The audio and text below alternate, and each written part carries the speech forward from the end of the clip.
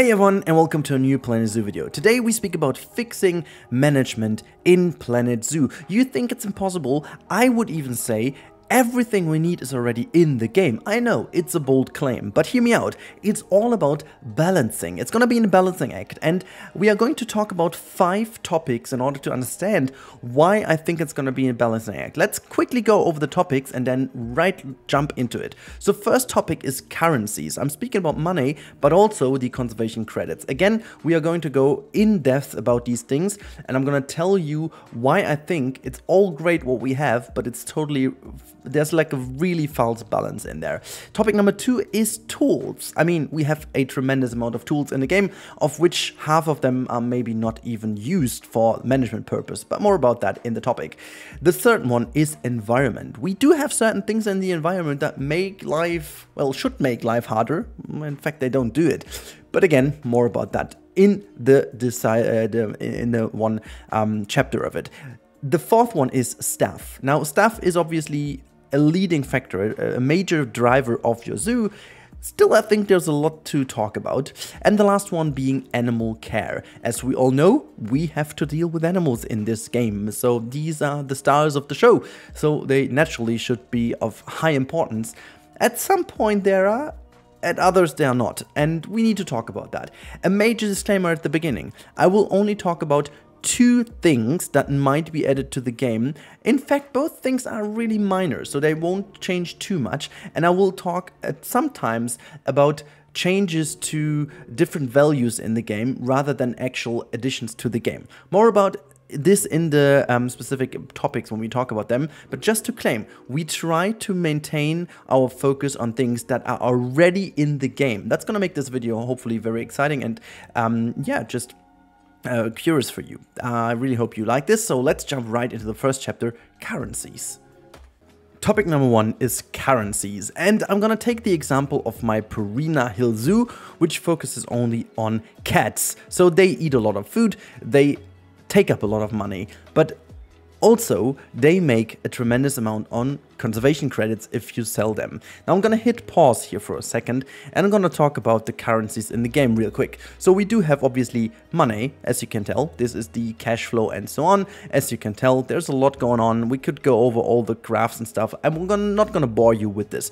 It's totally detailed enough but then again, there's not too many options to deal with it, but more about that in a second. The second currency we have is conservation credits. You can't see them in here. Um, there's no dedicated menu for that, but you will be able to see um, where you can get it. You can earn it by selling animals or also by earning zoo reputation. Now, there are ways to sell your animals and ways to get this. Now, let's first of all start with the conservation credits. It's a new currency introduced with this game. And the basic idea of this was to balance out that you can't get all the animals you want. Sometimes you need this and you need to run your zoo well.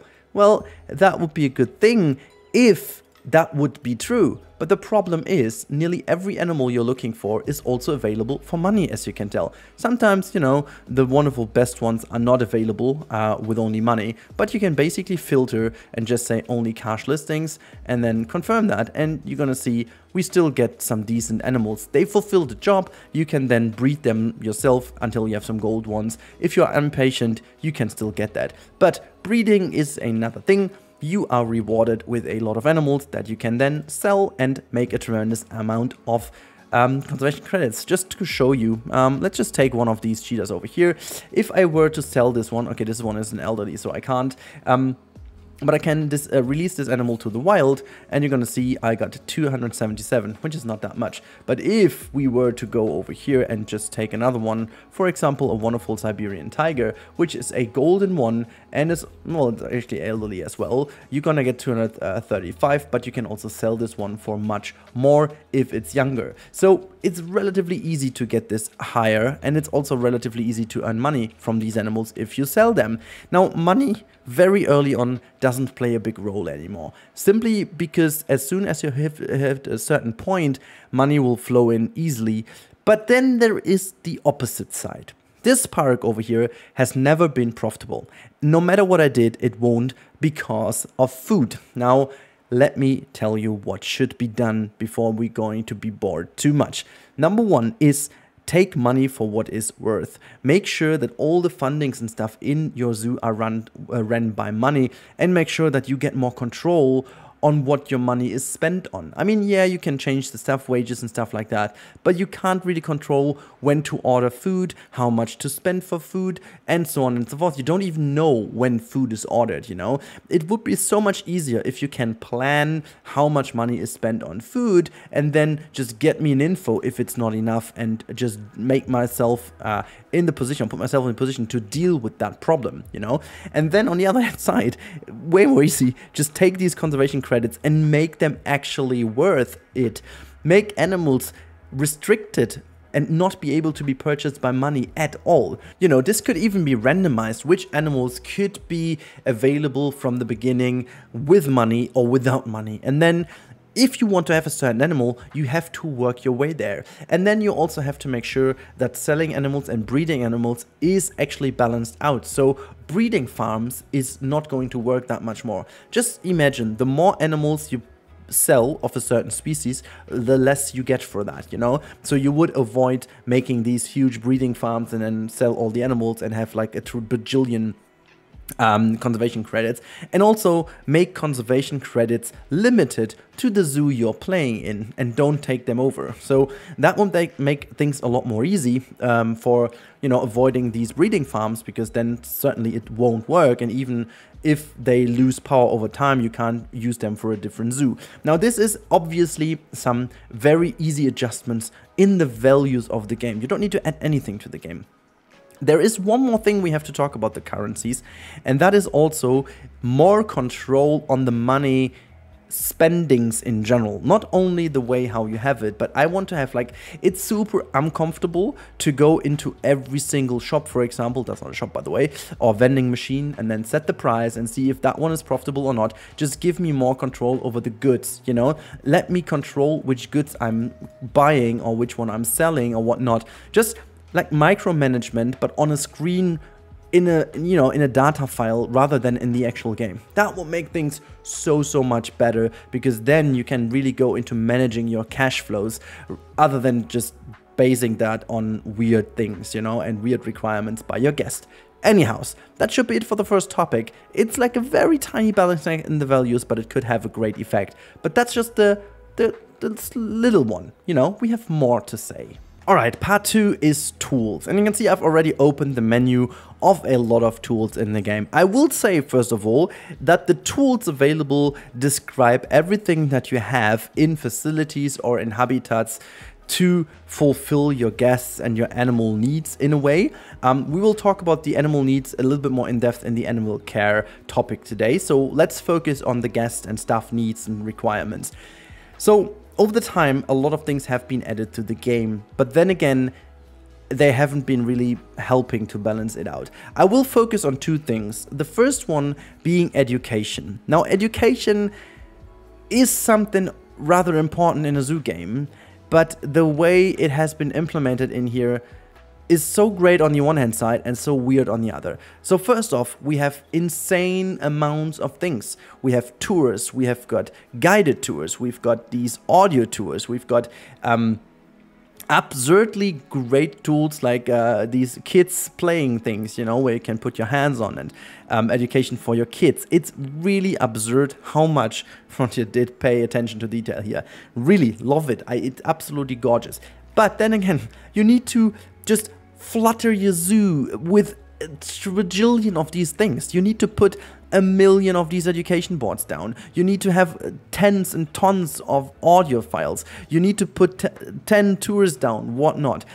But the thing is, you can because it's relatively cheap and it's not connected to anything in your zoo. You don't have to unlock tours. You don't have to unlock education boards. You don't have to unlock anything like that. Um, other than with some scenery packs maybe but that's that's about it you know? You don't have to. You have that from the beginning. Why on earth can you do a tour from the get-go? I mean you could not afford maybe an educator. Good. Okay fine.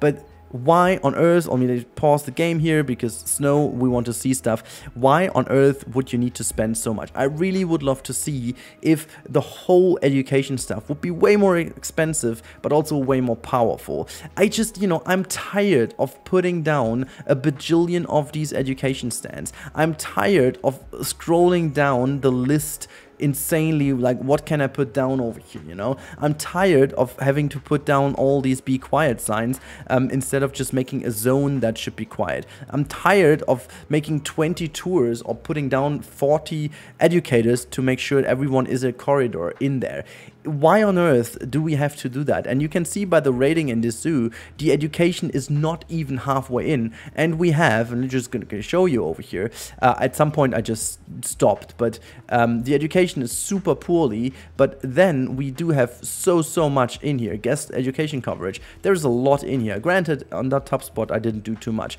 but there's like everything in here, it's still too low, and I really would love to see a change in this.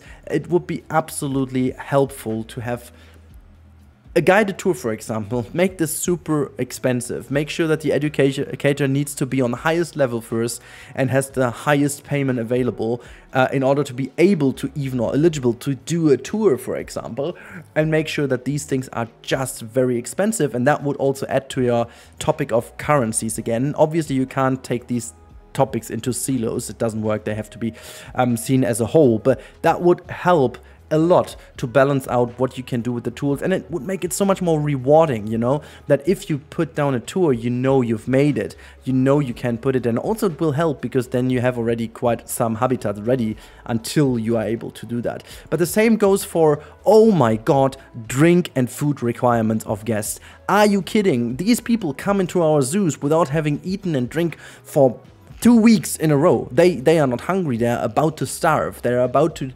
die because of having not drank anything in the last 10 months.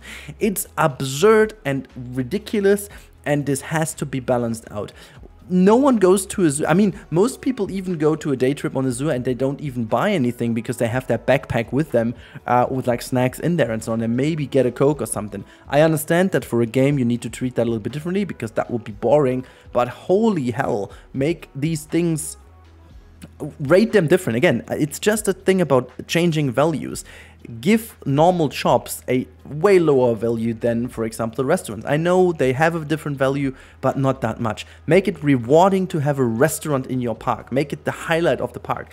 Make it also connected to a minimum amount of habitats, for example. I don't know, five habitats equals one restaurant or so. That would help to give a little guidance to how you build your zoo without having an actual guidance in. You know, it's all about making sure people go the right direction with their building process.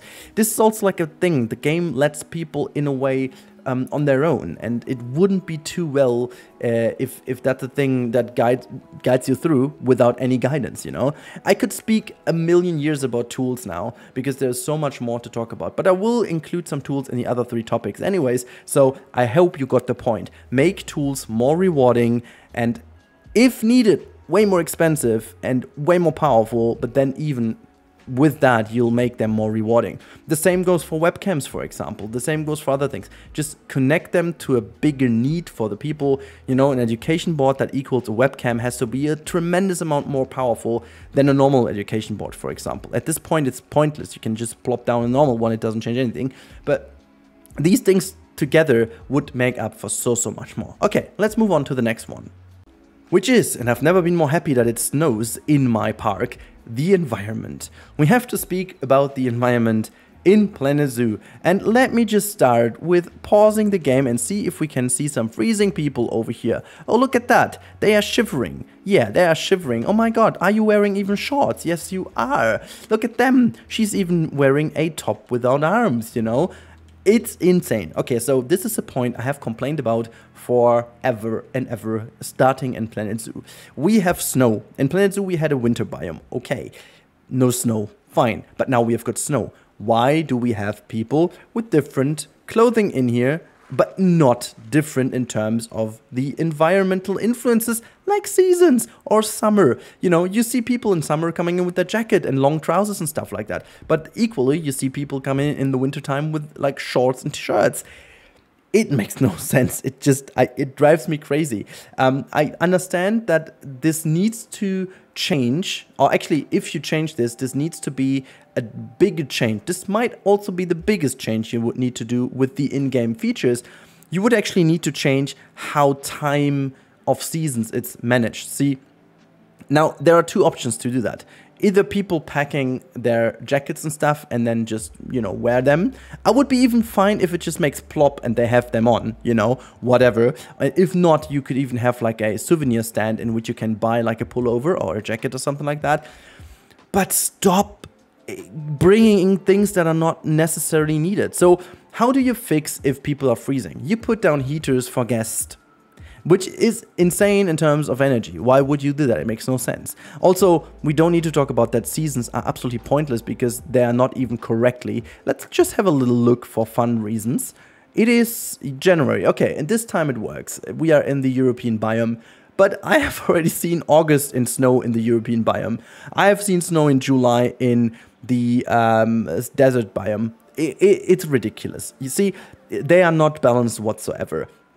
First of all, I would love to see like really the seasonal influence being more like a narrative that according to the biome you are in, and you can even exaggerate that a little. You know, let the winter start in the Europe biome end of November and end this beginning of April. That's fair enough. It's a little bit more predictable, granted, okay, but you can also change how heavy it is or how little heavy it is, whatever. But then you could control this and make sure that it is connected to certain things. Like, for example, why would, for example, in winter, why would people still buy like these cool drinks.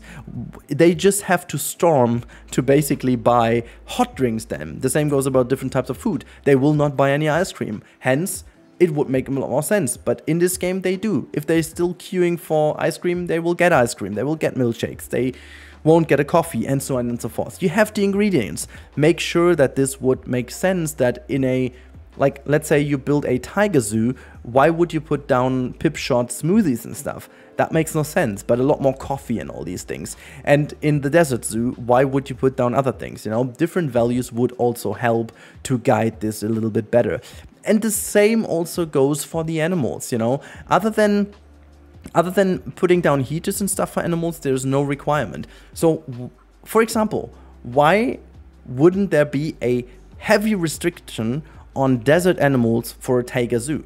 At this point, there isn't any. You can just get the, the animals and put them in. It would be so fun to have different habitat requirements for them according to the biome you're in. Just imagine you have to put down a, let's say, a desert animal in a taiga biome or even like a tundra biome, and it needs to be indoors. The game has the capability to understand if it's indoors or not, because that's how it's measured if it's warm or not. In fact, indoors even give a little boost in terms of temperature without putting heaters down, because they understand as soon as a building is fully enclosed, this has also direct influence of how snow is calculated in rain. So how fun would it be if that needs to be a house and not only because of cosmetic reasons, it just needs to be a house. Different habitat requirements according to the biome and the season would be absolutely fantastic and, in my opinion, even be required. It would really balance out certain things. And with that, also make sure that the money restriction or actually the,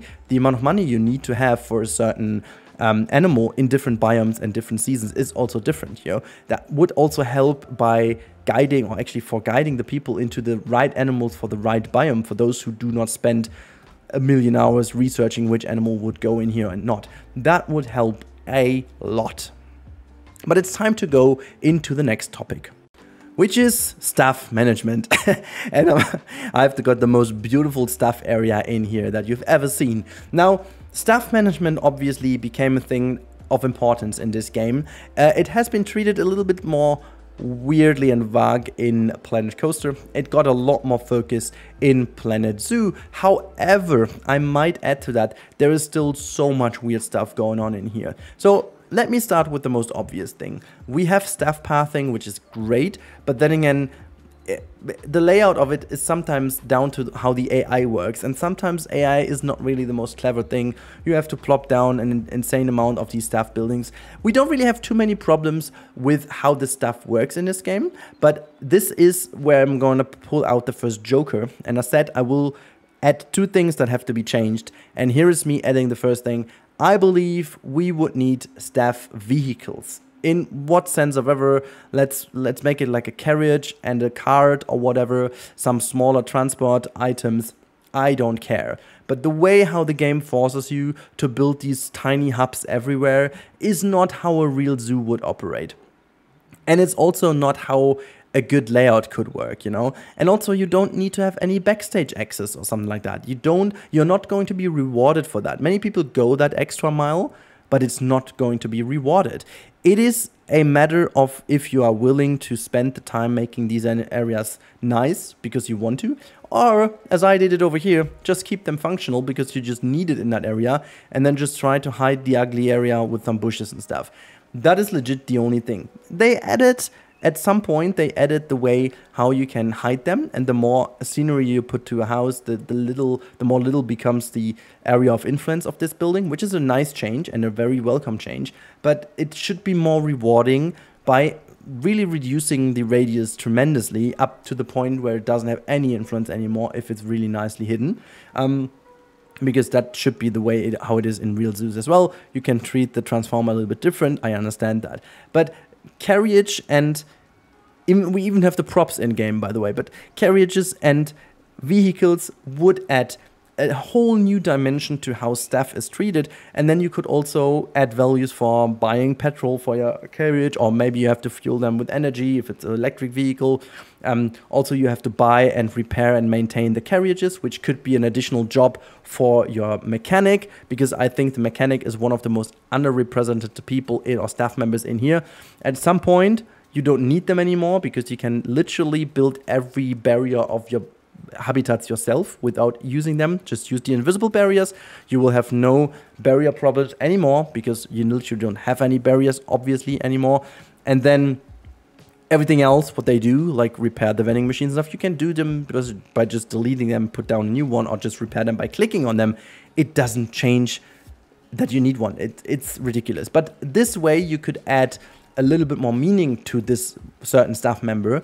And it would also mean that you can balance out a little bit more where you put down your staff hubs and stuff like that. So um, the whole staff pathing would become a lot more uh, you know, used again. Because as you see, I don't really have any staff pathing over here because the way I lay out my staff areas is always that they just have a hub. And the only thing I do is I'm just going to put, okay, I forgot it over here, I guess. But no, I did this. The only thing I do is I'm putting a tiny bit of staff path at a certain point to just use that as a block and then they can't go in here. It's mostly because I find the staff path so ugly. But this is the point, you know, you don't need them. But with actual staff path, which would be the only way on which vehicles could drive, you need to think about your layout in a different way. And this is how I would change stuff in general and also give me more meaning to the staff wages, as I said in the currency um, part of the video. Make sure that the staff wages are also connected to certain skills. And I'm not speaking about how well they do the skills, I mean skills that they have or don't have according to how much they, you pay them and which skill level they have, have. So for example, a mechanic can only repair an electric vehicle after they are fully trained, as an example. That would be absolutely something that you need in a game to balance that out. Anyhow, let's move on to the next point. Which is the animal care. It's our last point before we draw a conclusion. And you can see on the right hand side, this animal is doing pretty well in its habitat, but it is an outsider. Now, fair to say they have added quite a bit of stuff in the last couple updates that is helping to make the animal care more rewarding. But I will start with a bit more of a general thing. I spoke about that in the first part and now we have to go deeper into what conservation credits do. At this point in time, conservation credits are only a second layer currency if you want to have a tiny bit more better rated animals. They will not do anything else for your animal care. They don't have anything to do with your enrichment items. They don't have anything to do with how you treat your animals and it's that it doesn't really matter if you get them or not because sometimes you just have to wait for the cash listing. So, in order to make animal care a lot more focused and rewarding, we need connection to conservation.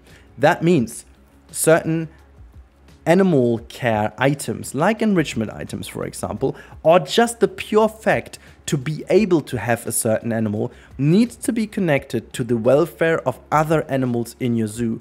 Yeah, you have your reports, yeah, you have uh, protesters in your zoo. Again, you have all the ingredients, but other than having fines, there is no actual punishment. So, how about animals will be taken away from you if you don't fulfill a certain thing in a certain time. And I need to actually take my second joker here, and that is events. I guess this game needs events. Look, it's pooping for us, but that does that shouldn't take away from the point. We need events. Events that will shape the way how you play the game, and these can be randomized. Let me give you an example.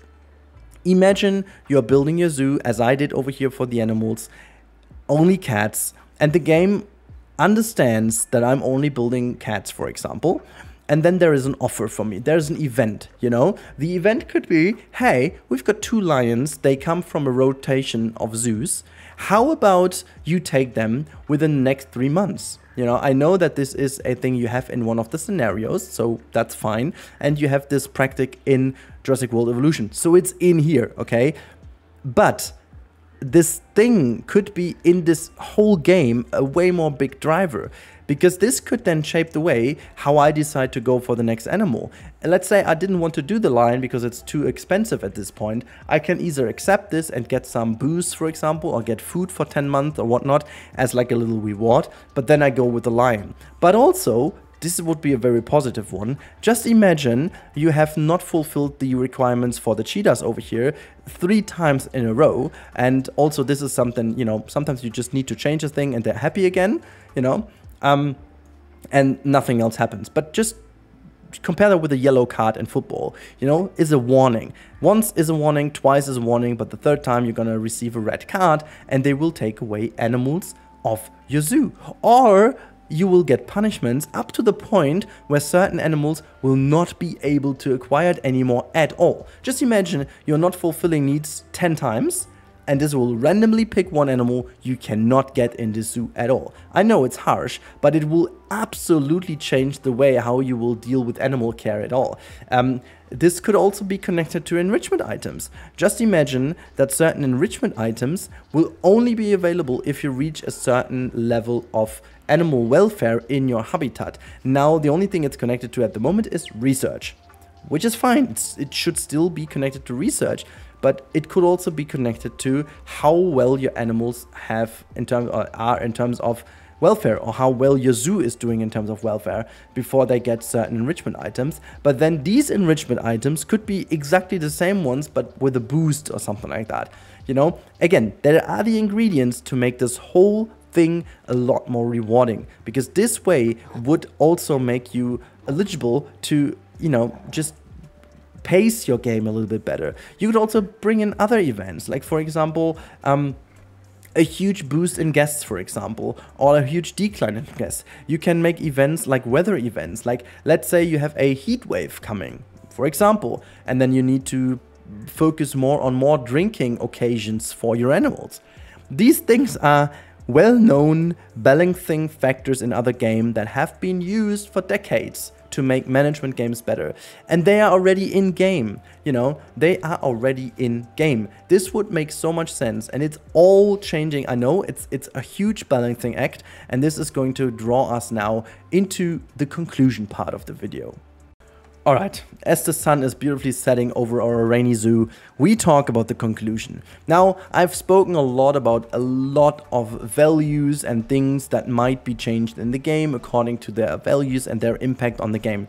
I think the overarching fact for me is that this game has almost every ingredient needed to become a seriously great management game, no matter if it's for franchise challenge or the scenarios the only thing they need to do is really make sure to balance out the different elements in the game with each other to make it more rewarding for the player. I'm not even speaking of challenging, I'm speaking about rewarding. Make things more meaningful. a fully done tour in your park should be absolutely endgame stuff, or maybe not endgame, but far into your game. It should not be. So, see, the point is, and this is also maybe something that many, many people who start the game feel like, and this whole video is based in your comments or based on your comments. People feel overwhelmed by Planet Zoo's capabilities. They feel overwhelmed by the sheer amount of things to do. And the easiest way of making sure people do not feel that way is take a lot of these great tools away from them at the beginning and let them learn about these tools along the way. I think this is the, the, the first key thing. The first the balancing uh, thing is make a late game target progress in a way. Set yourself the target on which what should be the end goal for your zoo, and that is pretty much whatever we have in the game right now. Just like a fully built zoo with all the things we have. That should be end game. And then just make a little progress how to get there, and along the progress, do unlockables, do events, do stuff like that. This is already halfway done. And the second part, like 50%, is balance out the way currencies work with each other and how you know animal care ties into this management aspect of currencies. Make animal acquisition more meaningful. Make animals in your zoo breed more meaningful and not just as a breeding farm but make that an event. Make breeding an event. Make breeding a bigger boost for education purposes for example or conservation purposes for example. The sheer fact that you did breed should already give you conservation credits in the first place rather than having to sell the animal you bred there are many, many ways to balance this out without changing a single thing in the game other than values and maybe some menu items have to be changed. I get that. But I think this game could be absurdly great in terms of management. I can really not think of any game that has so, so many things already there, you know, existing. And just the usage of it is so weirdly done in certain places. I could ramble about this for hours and hours. I have really, I have put thousands, literal thousands of hours in this game. I think I can fail, uh, it's fair to say I know every single item in this game very well. I know that there's a lot of great stuff in here. And I would wish that there would be a huge overhaul in how they tie into each other and just imagine that's a salad. At the moment, we just have a huge bazaar in which you have all the ingredients but not mixed together in a nice way and then put a dressing on. No, at the moment we just have them all lying in their corner each, and then the right corner has some pepper on it, the left one may have some salt on it, um, the lower one has some French dressing on it. But if you want to taste it, everything just tastes on its own, but it doesn't give you a whole experience. You know, we just need to take that huge bazaar and start shaking it so that all the ingredients come together, and then just you know taste if if the spices are good and just mix up the spices a little, and we've got a beautiful salad of what could be the beautiful game. I know this might be a ridiculous example, but I wish to have a good Planet Zoo salad at some point. I hope you too. And uh, with that metaphor, I'm gonna leave you alone for today. Uh, I really hope you enjoyed this deep dive into balancing this game and making management actually fun and meaningful. Let me know if I forgot anything. Let me know what you think about my points. Let me know if you think in the first place that we have everything in game or is there anything desperately missing that you think would need to be added? Let me know in the comments down below. Thank you so much for your attention. Have a wonderful day and goodbye.